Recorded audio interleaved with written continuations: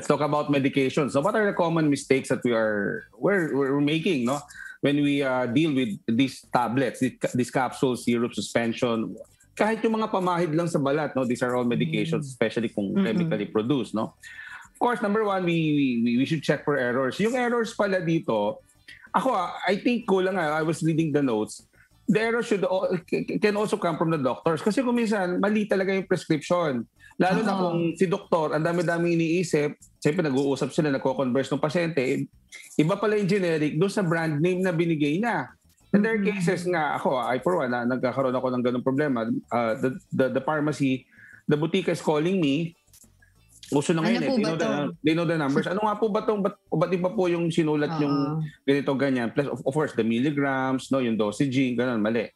So you have to check, we have to check for errors, not just coming from the uh, the pharmacy, the boutique itself. Kasi kung minsan naman nagkakaroon din ng error doon, pag, pag 'di ba minsan nakasupot na bibigay na lang sa iyo eh. Eh di alis ka na, nagmamadali ka pagbalik mo sa pag-uwi mo sa bahay, mali pala yung gamot. O kaya yung unang uh, yung, yung, yung yung pangalan kasi hindi mabasa yung sulat ng doktor, hinulaan na lang nung nagtinda eh mali na naibigay ng gamot mm. and there you go nainom mo na after few days iba na yung nararamdaman mo you call your doctor and mali and th- okay. these things really hap- happens no Mm-mm. and ako uh, marami akong experience ng ganyan talaga and ang nagiging fault ko nga dito kasi nga I have a very uh, worse ano talaga handwriting kaya the error the, the, yung number one natin the error uh, is not really coming from the pharmacy per se lang but also as doctors we should be uh, kumbaga, we check on this also kasi baka nagkakamali din with, with the prescription we're making, no? Mm-hmm. And uh, of course, we nowadays, especially uh, uh, economics-wise, eh, dapat medyo nag, uh, mag, ano tayo, medyo uh, binabantayan natin yung mga presyo. We push for the best prices, no?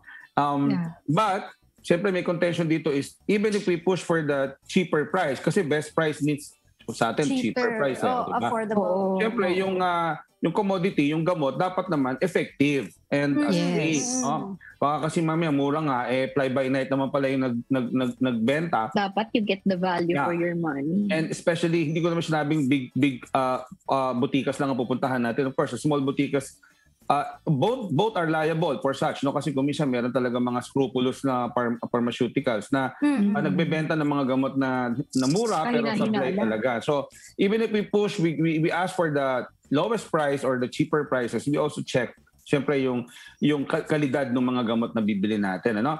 And uh, number three siyempre you, you should follow directions no? Paano ba iinumin ng gamot? Will it be taken before breakfast before lunch or even before dinner or after eating ba? Bedtime ba yan?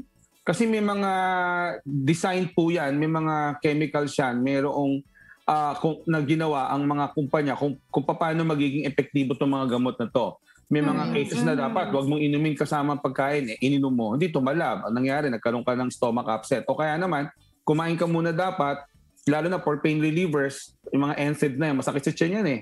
So Kasi, dapat may oo. yeah, dapat may full stomach ka or dapat hindi ka man lang gutom bago mo iinumin niya kasi nakakagasgas po ng mga bituka natin ano ng ng stomach per se, no? So, we should follow directions and um, wag yung, hindi yung direction po natin, ha? Direction po doon sa sinasabi doon sa gamot on how to, to take this. And of course, not just following it, we, we write it down. Lalo na kung uh, malilimutin na po tayo, isulat po natin sa isang malaking papel, huwag nating tipirin, sulat natin. Mm-hmm. Lagyan, lagyan mo ng oras talaga. Kung gusto mo, mag-alarm ka pa o mag, yes. mag, mag, mag, magbilin ka sa mga kasama mo para ipaalala sa'yo anong oras mo iinumin yan. And Siyempre, ilagay mo doon sa lugar na mababasa ng lahat para maalala. Lagay mo sa may refrigerator dito kasi sa bahay, sa rep namin nilalagay. Ako nakalagay sa salamin.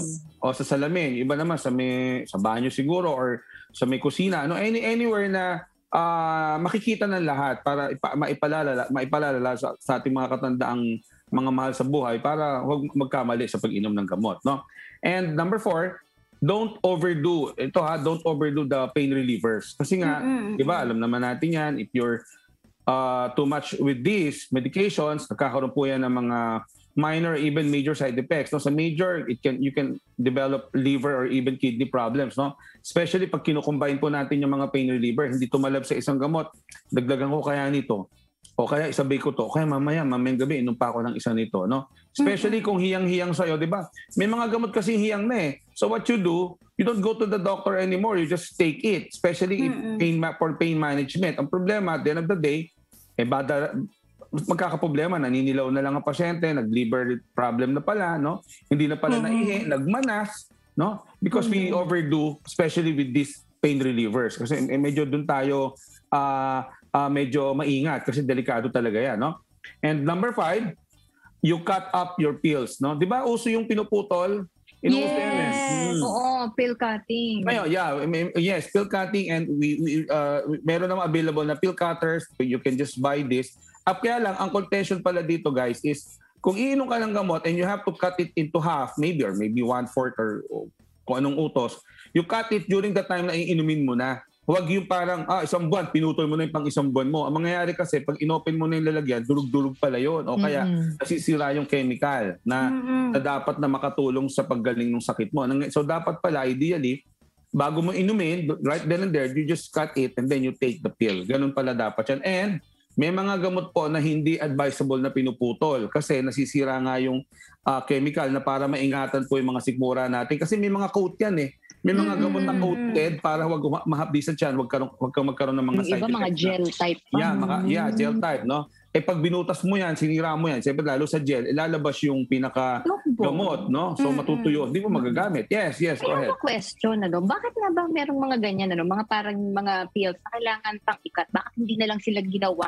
Nahati na. Mm. Well, uh, I think nakikita ko nakikita ko yan for economic purposes kasi kung minsan Ah, cheaper yung cheaper yung the whole value of a one a one- mas malaking milligram and if you cut it into half mas malaki po ang matitipid ng mga pasyente. No? And Mm. uh, minsan naman uh, mayroong malaking pill na hindi malunok. So ang mangyayari, o sige, ano muna, hati-hati Hati muna. natin. We just cut it into, yun nga, several cuttings para mas ma- ma- ma- malunok ng ating mga pasyente. And may mga Dati- cases, yeah. Mm. Dati nung doc, yung si Mio nung bata-bata siya kasi nag-allergy siya dati. Oo, Tapos oo. at that time, wala akong dala nung kanyang syrup na Mm. na aller- allergy syrup uh, Mm. medication. Pero kailangan na niya kasi hindi siya makahinga. Ang ginawa, ikaw yata nag-advise sa akin ng doc eh. Putulin yung ano, putulin na lang yung, Yung tablet. pill. Kasi Oo, meron akong oo. tablet, yung para kay Diego Mm-mm. naman.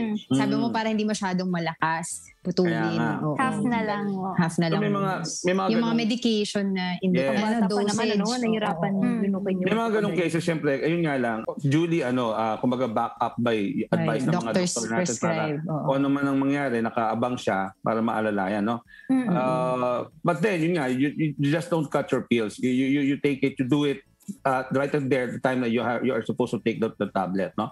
Oo. And uh, number six, you mind your moods. Kasi nga, may mga medications na uh, nagpapabago po sa ating mga pakiramdam, no? Sa ating mga karakter, sa attitude natin, yung sa mood sa no? ha?